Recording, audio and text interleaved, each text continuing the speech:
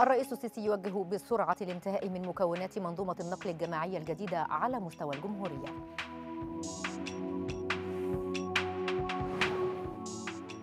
استمرار فعاليات التدريب المصري السعودي المشترك تبوك خمسة في المملكة العربية السعودية.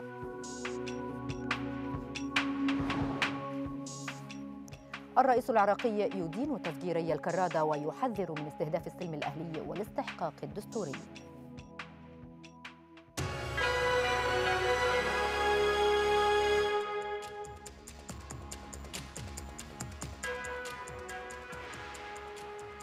العاشرة صباحا الثامنة بتوقيت جرينتش نشرة إخبارية مفصلة تأتيكم من القاهرة. أهلا بكم.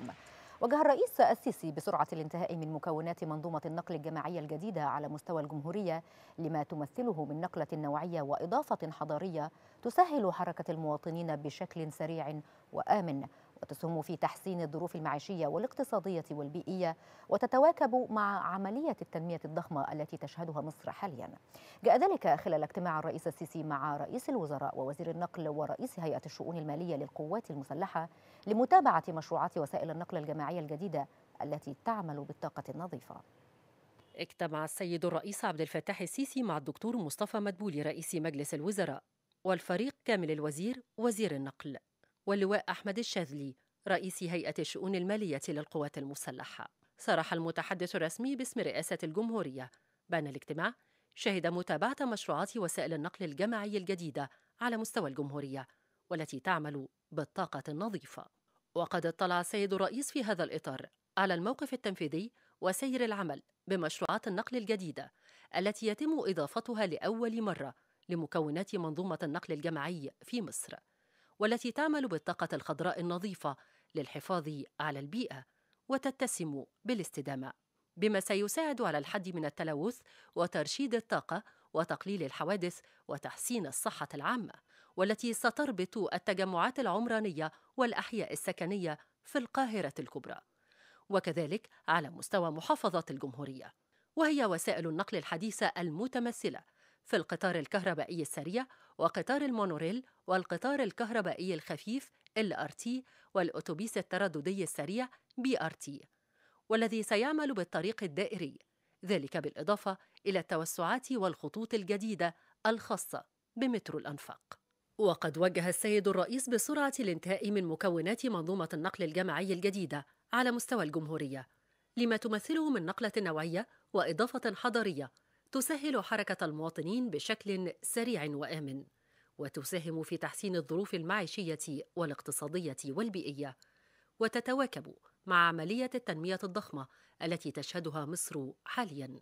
كما وجه سيادته أيضا بالاهتمام بنظم التشغيل وبالكوادر الفنية التي ستعمل على إدارة هذه المنظومة بحيث يتم تأهيلها علميا لمواكبة الحداثة والتطور الذي تتسم بها التكنولوجيا المستخدمة في إطارها.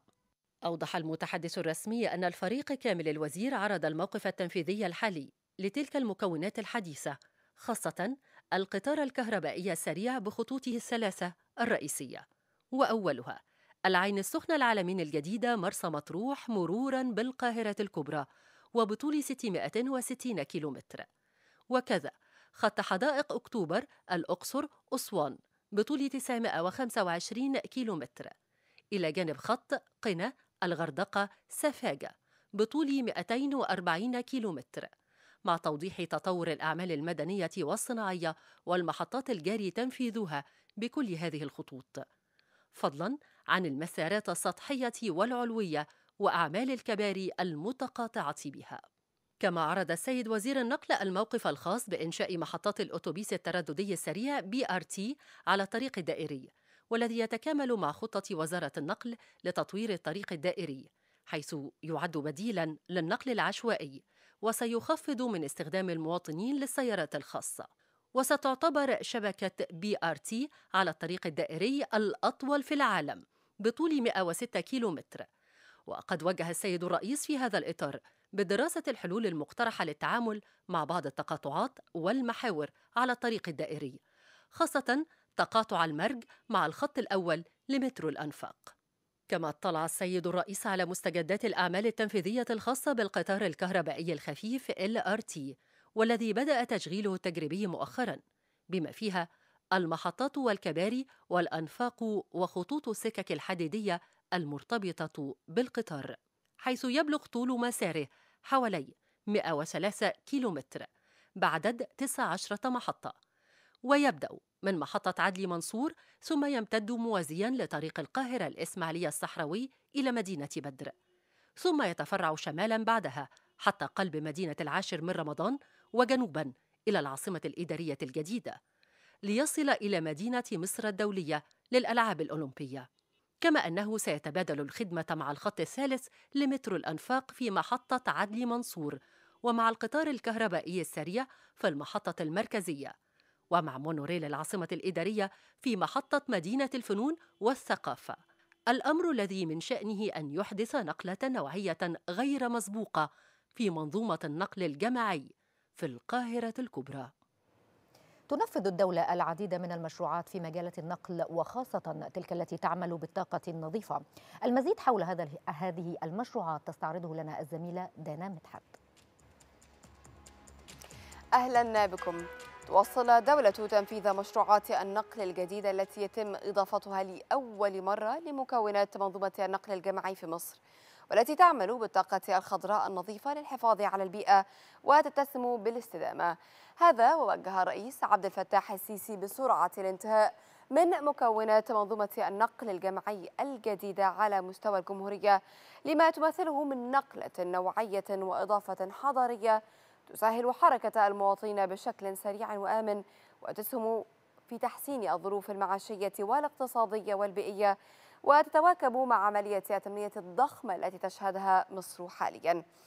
البداية مع القطار الكهربائي السريع بخطوطها ثلاثة رئيسية وأولها العين السخنة العلمين الجديدة مرسى مطروح مرورا بالقاهرة الكبرى وبطول 660 كيلومتر وكذلك خط حدائق أكتوبر الأقصر أسوان بطول 925 كيلومتر إلى جانب خط قنا الغردقة سفاجة بطول 240 كيلومتر. كما تنفذ الدولة القطار الكهربائي الخفيف LRT والذي بدأ تشغيلها التجريبي مؤخرا حيث يبلغ طول مساره نحو 103 كيلومتر بعدد 19 محطة. ويبدأ من محطة عدلي منصور ثم يمتد موازيا لطريق القاهرة الإسماعيلية الصحراوي إلى مدينة بدر ثم يتفرع شمالا بعدها حتى قلب مدينة العاشر من رمضان وجنوبا إلى العاصمة الإدارية الجديدة. ليصل بذلك إلى مدينة مصر الدولية للألعاب الأولمبية. هذا وتواصل الدولة تنفيذ مشروعي مونوريل العاصمة الإدارية السادس من أكتوبر لتحدث بذلك نقلة حضارية كبيرة في قطاع نقل الركاب فضلا عن تنفيذ التوسعات والخطوط الجديدة الخاصة بمترو الأنفاق. كما تنفذ الدولة أيضا مشروع الأتوبيس الترددي السريع BRT على الطريق الدائري حيث يعد بديلا للنقل العشوائي وسيخفض من استخدام المواطنين للسيارات الخاصة وستعتبر شبكة BRT على الطريق الدائري الأطول في العالم بطول 106 كيلومترات. مشاهدينا الكرام كان هذا عرضا موجزا حول مشروعات منظومة النقل الجماعي الجديدة والتي ستساعد على الحد من التلوث ومن ترشيد الطاقة وتقليل الحوادث وتحسين الصحة العامة والتي ستربط التجمعات العمرانية والأحياء السكنية في القاهرة الكبرى وكذلك على مستوى محافظات الجمهورية. أشكر لكم طيب المتابعة. أكد رئيس الوزراء مصطفى مدبولي أن الدولة تعتمد بشكل كبير في اقتصادها على القطاع الخاص وستظل تعتمد عليه. وفي حوار مع قناة بي بي سي عربية أوضح رئيس الوزراء أنه تنفيذا لتوجيهات السيد الرئيس عبد الفتاح السيسي يجرى العمل على هيكلة الشركات التابعة للقوات المسلحة التي تعمل في قطاعات اقتصادية مدنية بحيث تكون جاهزة للطرح في البورصة المصرية وللشراكة مع القطاع الخاص. هذا وأضاف مدبولي أن الحكومة تستهدف خلال السنوات الثلاث القادمة ضبط الدين الداخلي والخارجي إلى جانب العمل على تحقيق المسار الخاص بالنمو الاقتصادي بنسب لا تقل عن 5.5 إلى 7% وتناول اللقاء ملف سد النهضة حيث أشار مدبولي إلى أن مصر تسعى للوصول مع إثيوبيا والسودان إلى توافق حول اتفاق قانوني ملزم ينظم حقوق الدول الثلاث في الاستفادة من أعمال التنمية.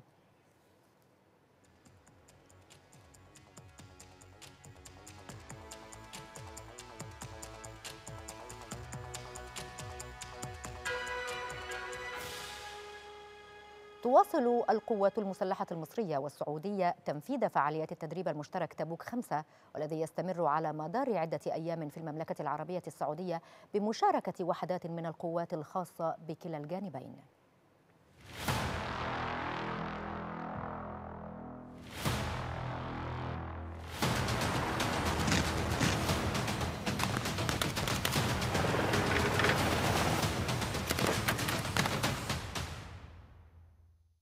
واصلت القوات المسلحة المصرية والسعودية تنفيذ فعاليات التدريب المصري السعودي المشترك تبوك خمسة والذي ينفذ على مدار عدة أيام بالمملكة العربية السعودية. ويشارك فيه وحدة من القوات الخاصة لكلا الجانبين بالإضافة إلى عناصر من المشاة والمدرعات وعناصر دعم من الأسلحة التخصصية المختلفة.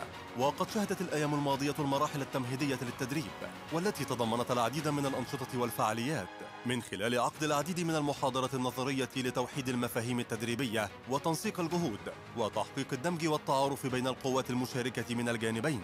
وتواصل عناصر من المشاة والمدرعات مدعومة بعناصر من الأسلحة التخصصية المختلفة التدريب على أعمال الاستطلاع واحتلال المناطق الدفاعية وصد وتدمير العدو باستخدام نظم ومقلدات الرماية المايلز لتحقيق الواقعية في التدريب وتقييم مستوى العناصر المشاركة وظهر خلال التدريب المستوى الراقي للقوات ومدى ما وصلوا إليه من تفاهم ومهارات ميدانية وقتالية عالية كما قامت القوات الخاصة لكلا البلدين بتنفيذ أنشطة تدريبية مكثفة تخللها تنفيذ عدد من الرمايات النمطية وغير النمطية.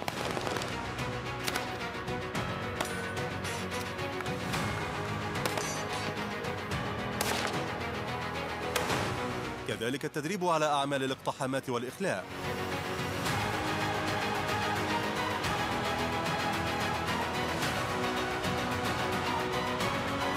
وتنفيذ أعمال الكمين والإغارة على الأهداف المعادية. والتي تركزت على التدريبات الاحترافية لعناصر القوات الخاصة لكلا البلدين فيما نفذت قوات المظلات تدريبات على الإعداد والتجهيز والتحميل للأفراد. وتنفيذ عدد من القفزات المشتركة أظهرت مدى ما تتمتع به العناصر المشاركة من مرونة ومهارة عالية.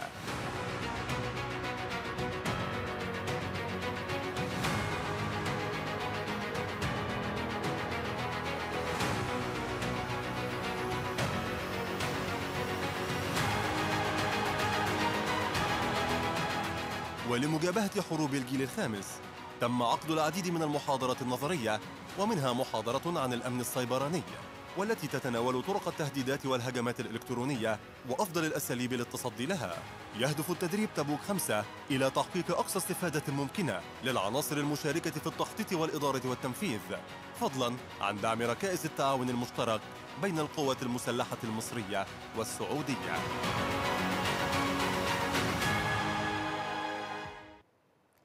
أكد وزير الخارجية سامح شكري ونظيره الجزائري رمضان العمامرة أهمية مواصلة التعاون والتنسيق الثنائي المستمر في مختلف المجالات مع العمل على تعزيز أوجه العلاقات الاقتصادية والاستثمارية.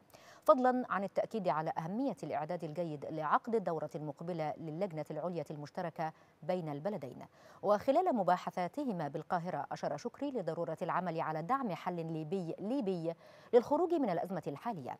كما تم التأكيد على ضرورة وقف أي تدخلات أجنبية في شؤون ليبيا وأهمية خروج كافة القوات الأجنبية.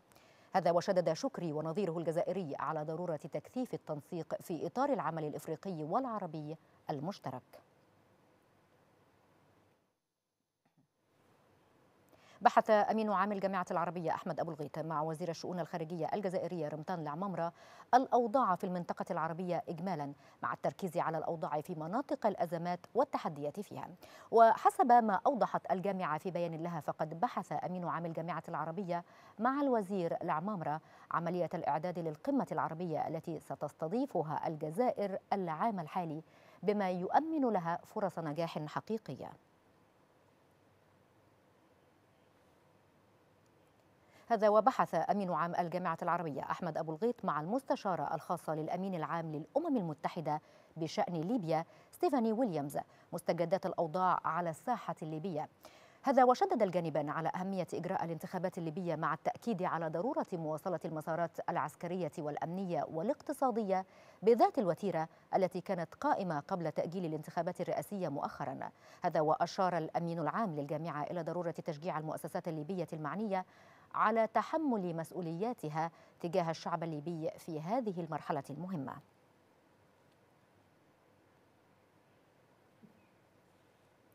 توعدت القوات الأمنية العراقية منفذي تفجيرين وقع بالأمس في منطقة الكرادة ببغداد بالقصاص العادل. هذا وذكرت خلية الإعلام الأمني في بيان أن الأجهزة الأمنية الاستخباراتية المختصة بدأت في التحقيق بالحادثين اللذين وقعا بواسطة عبوتين صوتيتين في منطقة الكرادة ببغداد مشيرة إلى أنها قريبة جدا من المنفذين لهذين الاعتداءين اللذان يهدفان إلى زعزعة الأمن والاستقرار وخلط الأوراق.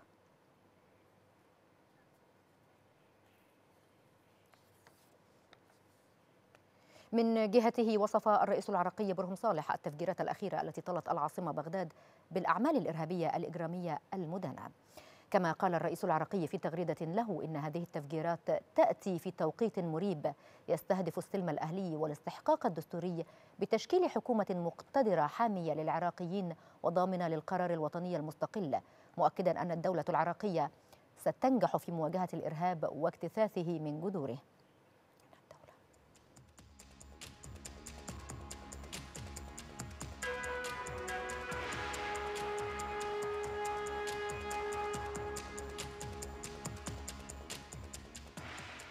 أعلنت وزارة الصحة والسكان تسجيل 1197 حالة جديدة ثبتت إيجابية تحاليلها لفيروس كورونا ومتحوراته لافتة إلى وفاة 25 حالة جديدة.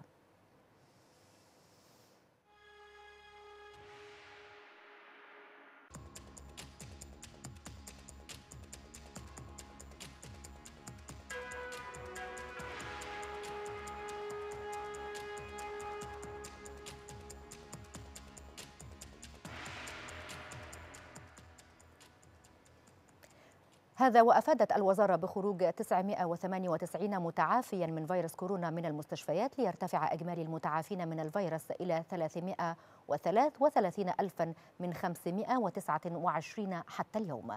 هذا وأشارت الوزارة إلى أن إجمالي العدد الذي تم تسجيله في مصر بفيروس كورونا المستجد هو 400076 حالة من ضمنهم 22148 حالة وفاة.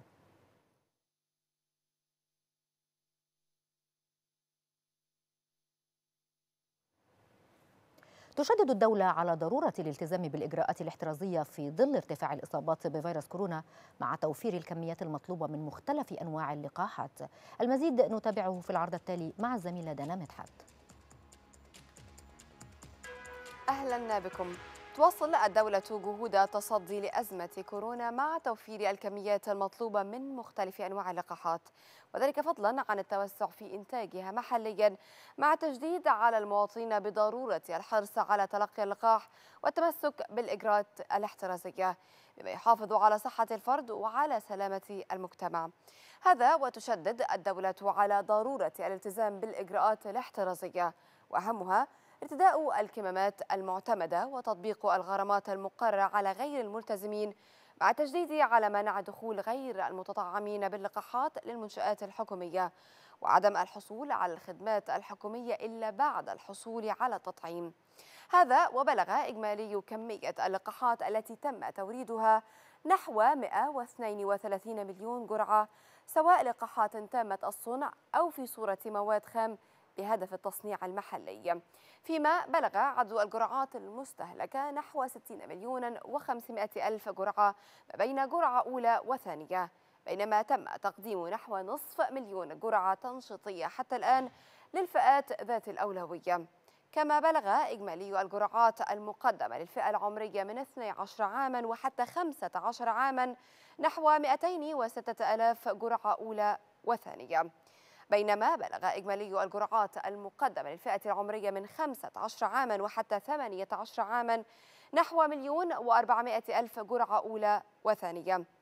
هذا وتبذل الدولة جهودا كبيرة للتوسع في مراكز تلقي اللقاح المضاد لفيروس كورونا وتواجدها في أماكن تردد المواطنين من أجل التيسير عليهم حيث يبلغ عددها الحالي 1393 مركز.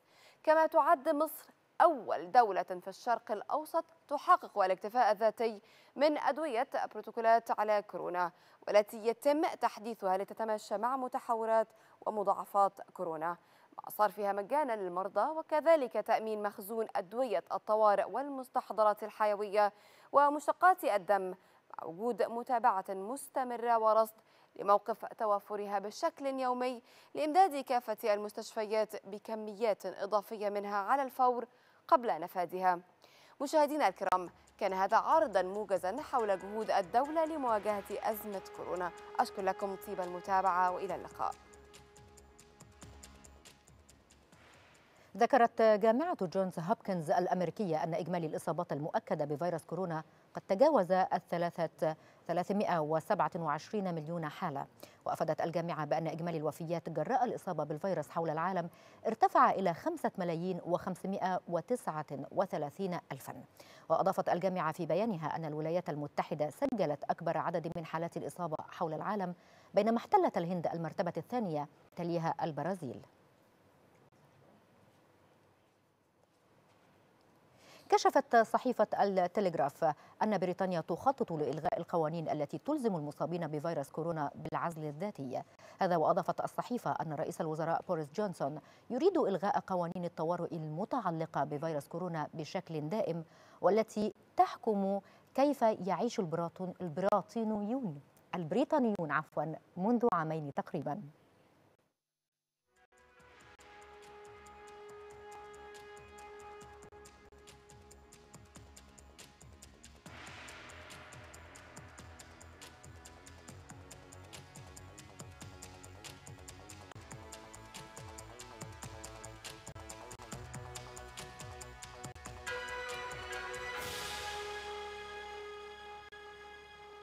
أقر البرلمان الفرنسي نهائيا في تصويت أخير للنواب مشروع القانون في شأن شهادة التلقيح والذي ترغب الحكومة في تطبيقه سريعا مع تجدد تفشي وباء كورونا.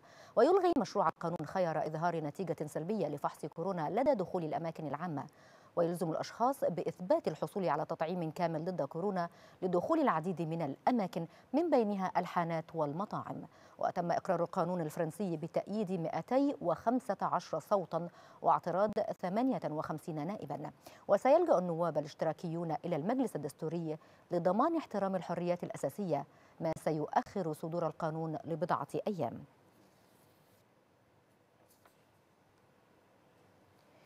انتهت الحكومة النمساوية من إعداد مشروع القانون الخاص بفرض لقاحات كورونا إجباريا في البلاد.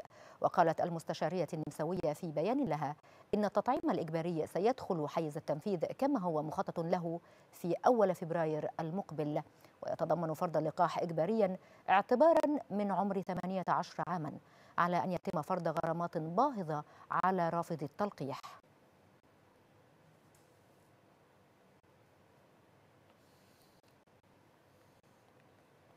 قال كبير أمناء مجلس الوزراء الياباني إن الحكومة تدرس إعلان حالة شبه طوارئ في العاصمة طوكيو وثلاث محافظات أخرى وسط زيادة عدد حالات الإصابة بفيروس كورونا. جاء ذلك بعد إعلان العاصمة اليابانية تسجيلها أكثر من أربعة ألاف إصابة جديدة بفيروس كوفيد 19 في الوقت الذي بلغ فيه معدل إشغال أسرة المستشفيات نحو 20% وهو ما دفع حكومة العاصمة لمطالبة الحكومة المركزية بوضعها تحت حالة شبه الطوارئ.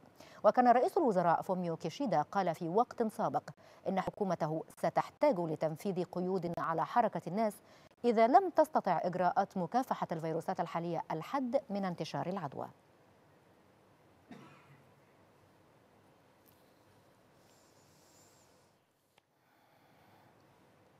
أعلنت الإكوادور حالة التأهب الحمراء في معظم أنحاء البلاد بعد زيادة الإصابات بفيروس كورونا بنحو عشرة أضعاف. هذا وتم تطبيق حالة التأهب الحمراء على 193 من أصل 221 مقاطعة. وقال نائب وزير الصحة بالإكوادور إن الإصابات اليومية ارتفعت إلى أكثر من 42 ألفا أو ألف حالة في الأسبوع الثاني من يناير الجاري. مؤكدا أن هذا العدد من الإصابات هو الأعلى الذي تم تسجيله منذ بداية الجائحة وموضحا أن ارتفاع أعداد الإصابة به وبمتحور أوميكرون يعود للاحتفالات الأخيرة بعيد الميلاد ورأس السنة.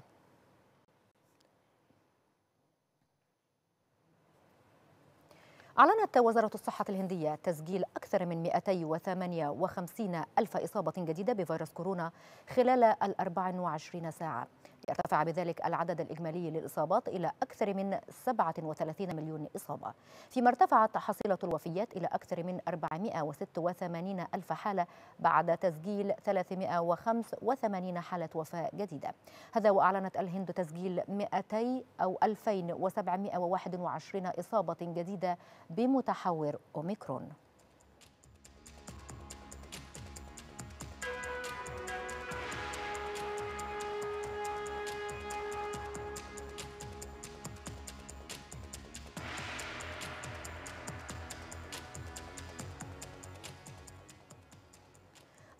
كوريا الشمالية قذيفة مجهولة باتجاه بحر اليابان في ساعة مبكرة اليوم الاثنين. وبحسب ما أفادت به وكالة يونهاب نقلا عن هيئة الأركان المشتركة في كوريا الجنوبية فإن المقذوف غير معلوم وأطلق تجاه البحر قبالة ساحلها الشرقي بينما قالت قوة خفر السواحل في اليابان إن ما أطلقته كوريا الشمالية ربما يكون صاروخا باليستيا وقامت كوريا الشمالية بثلاثة إطلاقات سابقة خلال هذا الشهر معلنة أنها أجرت تجارب ناجحة على صواريخ تفوق سرعتها سرعة الصوت.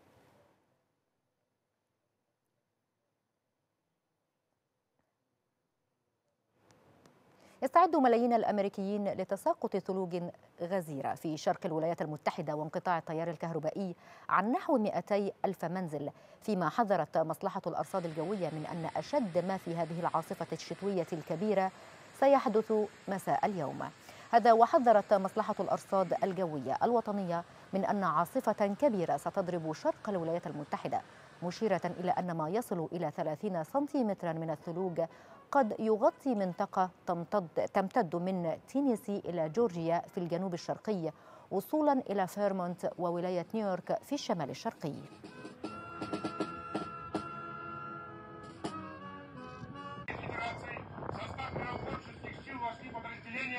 воздушно-десантных войск.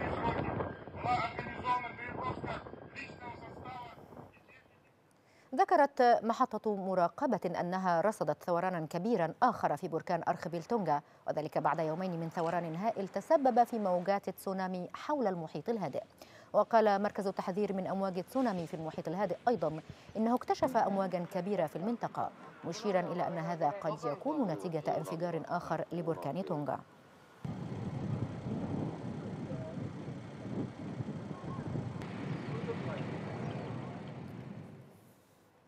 أكدت الأمم المتحدة أن جهودها لجمع التبرعات من أجل الناجين من إعصار ري في الفلبين لم تجمع حتى الآن إلا 39% من الهدف البالغ أكثر من 107 ملايين دولار أمريكي بعد نحو شهر من البدء. هذا ونشد منسق الأمم المتحدة في الفلبين في بيان تقديم المزيد من الدعم للإسراع في تحسين المناطق المتضررة في الفلبين وإعادة بنائها. هذا وأوضح أن التحديات قد أعاقت مؤخرا جهود الإغاثة المبذولة من أجل المجتمعات التي ضربها الإعصار في الفلبين ومن بين تلك التحديات ارتفاع حالات الإصابة بكورونا بين الموظفين والتي فرضت قيودا على الحركة ما تسبب فيما وصفه بقيود على سلسلة الدعم.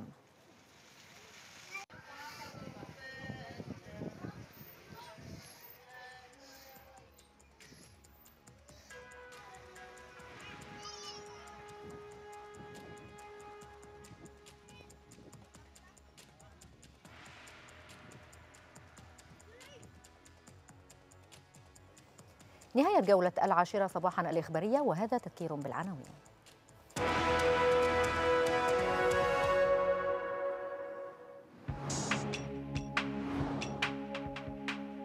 الرئيس السيسي يوجه بسرعة الانتهاء من مكونات منظومة النقل الجماعية الجديدة على مستوى الجمهورية.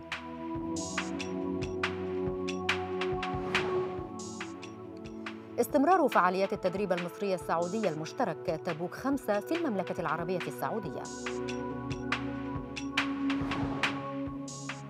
والرئيس العراقي يدين تفجيري الكرادة ويحذر من استهداف السلم الأهلي والاستحقاق الدستوري.